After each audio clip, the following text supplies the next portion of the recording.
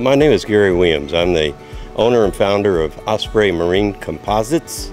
Uh, we've been in business for about 33 years. It's my wife, my son and I are the owners of the business. Starting of Osprey Marine Composites was a dream of mine to specialize in the world of fiberglass.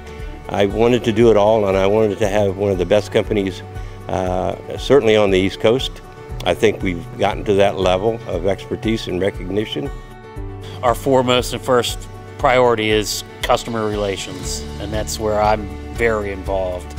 Uh, there's nothing more important to me than making sure a customer knows where his money is being spent and how it's being spent. Ease of information has made it much more easy for customers to be involved with what's happening with their boat, where they don't have to even be anywhere around us to know what's going on with their boat.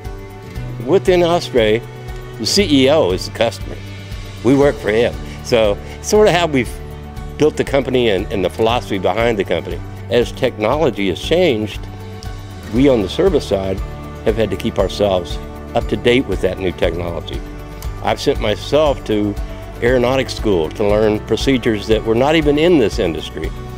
We were actually building composite parts for nuclear submarines. But the main thrust of Osprey's business is the world of yachting. Whether it's structural damage or somebody wants to restore a 40-year-old boat, that's our specialty.